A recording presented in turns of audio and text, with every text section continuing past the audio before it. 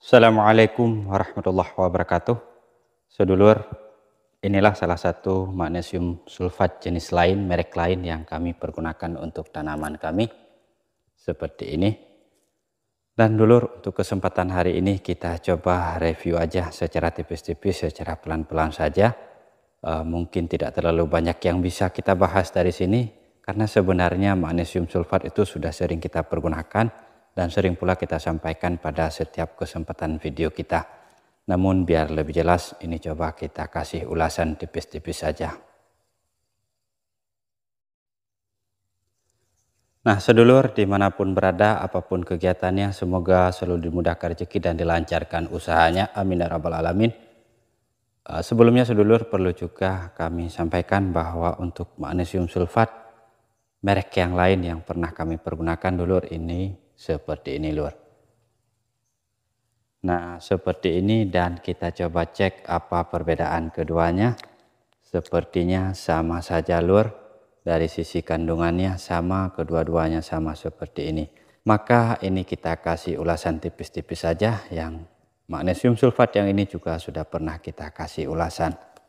Kemudian dulur apa sih magnesium sulfat ini serta apa keunggulannya? Perhatikan dan simak baik-baik. Magnesium sulfat merupakan salah satu pupuk makro sekunder. Yang sesuai namanya magnesium sulfat maka pastinya dia mengandung pertama sekali adalah magnesium dan kedua sulfur. Magnesium sulfat ini berbentuk kristal sehingga sangat cepat dan mudah larut dengan air serta dapat diaplikasikan dengan cara penyemprotan, penyiraman atau pengocoran di tabur, serta dapat pula dilakukan pemberiannya bersamaan dengan insektisida, fungisida ataupun nutrisi dan pupuk lainnya. Untuk target penggunaannya, pupuk magnesium sulfat ini bisa diberikan untuk tanaman hortikultura, tanaman pangan, ataupun tanaman-tanaman perkebunan. Kemudian keunggulan dari pupuk magnesium sulfat jika kita rinci berdasarkan unsur yang terkandung di dalamnya. Pertama sekali magnesium merupakan nutrisi penting dalam pembentukan klorofil, terutama berperan pada proses fotosintesis dan respirasi daun Kemudian juga berperan dalam pembentukan gula, protein, karbohidrat, minyak, dan lemak. Magnesium berpengaruh positif pada kekuatan dinding sel dan permeabilitas membran sehingga dapat meningkatkan resistensi tanaman terhadap kekeringan dan penyakit. Kemudian untuk unsur sulfurnya, yang merupakan nutrisi untuk meningkatkan kualitas daun, kemudian meningkatkan kadar minyak tanaman, dan meningkatkan daya tahan terhadap suhu rendah.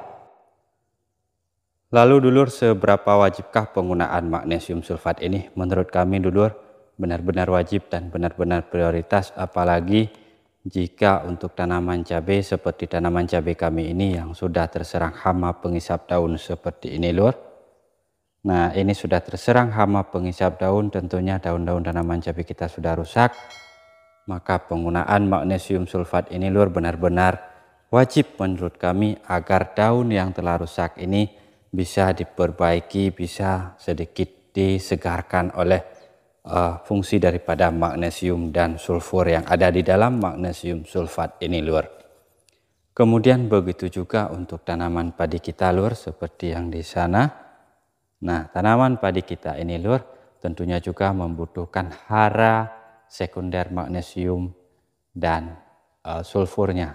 Kenapa? Karena pada kondisi-kondisi seperti ini tentunya tanaman padi juga membutuhkan asupan magnesium dan sulfur untuk menjaga daunnya tetap sehat terutama daun benderanya agar bulir-bulir padi kita tetap bisa terisi tetap terpenuhi kebutuhannya sehingga bernas dan berbobot sampai pada pangkalnya. Nah, maka oleh karenanya lur pada penyemprotan-penyemprotan uh, tahapan seperti ini atau penyemprotan tanaman cabai seperti ini penggunaan magnesium sulfat selalu menjadi bahagian yang tidak terpisahkan dari racikan pestisida kami luar. Kekurangan magnesium sulfat pada tanaman dapat menyebabkan berbagai macam masalah. Di antaranya daun menguning terutama di antara urat daun dan di sekitar tepi daun. Kemudian daun bisa juga berwarna ungu, coklat atau merah. Juga daun itu lebih cepat mengering dan lebih cepat mati. Kemudian begitu juga dengan buah yang dihasilkan itu tumbuhnya tidak maksimal, kualitas buruk, kemudian bentuk buahnya kecil-kecil, tidak banyak berbuah juga, serta ketika nanti kita selesai kita panen, daya simpan dari buah itu tidak bisa bertahan lama. Itu di antara beberapa efek yang ditimbulkan dari kekurangan magnesium sulfat untuk tanaman kita. Kemudian lur, karena bentuknya kristal seperti ini uh, dan dia mudah larut dalam air, maka sekarang kita coba saja di sini lur, ini sudah kita siapkan air bersihnya. Kita coba larutkan magnesium sulfat ini dan untuk penggunaannya lur ini tidak menggunakan sendok makan karena lupa kita bawa Biasanya penggunaan magnesium sulfat ini kami berikan 2 sendok makan atau 3 sendok makan untuk satu tangki penyemprotan. Nah karena ini lupa kami bawa sendok makannya maka kita anggap uh, ini kita berikan lebih kurang 2 sampai 3 sendok makan luar. Nah bentuknya seperti ini. Semoga aman dan tidak jatuh ini. Oke, nah ini ini sudah lebih dari tiga sendok makan kita kurangi penggunaannya. Oke bismillah kita tinggalkan sedikit nanti lur. Nah kita tinggalkan segini biar ukurannya lebih kurang dua atau tiga sendok makan lur. Lihat di bawahnya masih tersisa dan langsung kita aduk di alur. Oke bismillah kita aduk pelan-pelan. Kita aduk pelan-pelan dan pelan-pelan juga sedulur semuanya untuk mendukung kami subscribe secara pelan-pelan bagikan juga secara pelan-pelan dan balik lagi ke channel kami terima kasih sebanyak-banyaknya nah dulur perhatikan. Sudah teraduk sempurna. Padahal baru beberapa goyangan yang kita mainkan. Benar-benar sudah teraduk dan benar-benar cepat larut di alur. Tidak butuh goyangan lama tidak butuh goyangan-goyangan khas. Dia sudah larut seperti ini lur. Nah kemudian untuk uh, penggunaannya juga lur ini tergolong cukup efisien juga karena magnesium sulfat ini bisa diberikan bersamaan dengan pupuk MKP atau kalsium seperti ini lur. Ini adalah ramuan uh, racikan daripada penggunaan nutrisi kami untuk tanaman kami. Ada magnesium sulfat pastinya, ada MKP, ada kalsium seperti ini kemudian bisa juga dicampurkan dengan fungisida kemudian insektisida dan bahkan dengan perekatnya sekaligus lur. Nah magnesium sulfat itu bisa lur ini nanti kita lakukan pengadukan di sini untuk penyemprotan kita.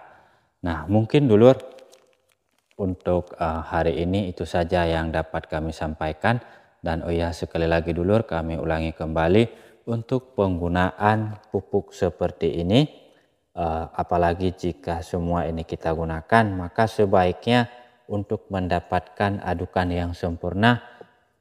Sebaiknya ya seperti ini lur. Setiap satu pupuk yang kita masukkan kita aduk terlebih dahulu sampai larut. Kemudian kita tambahkan misalkan dengan MKP kita aduk kembali kita tambahkan kalsium kita aduk kembali. Baru kemudian kita masukkan ke tangki penyemprotannya. Nah demikian dulu. Terima kasih atas perhatiannya terima kasih atas waktunya. Kita berjumpa kembali selamat beraktivitas semoga rezekinya lancar dan dimudahkan urusannya. Amin ya rabbal alamin. Kami akhiri saja. Assalamualaikum warahmatullahi wabarakatuh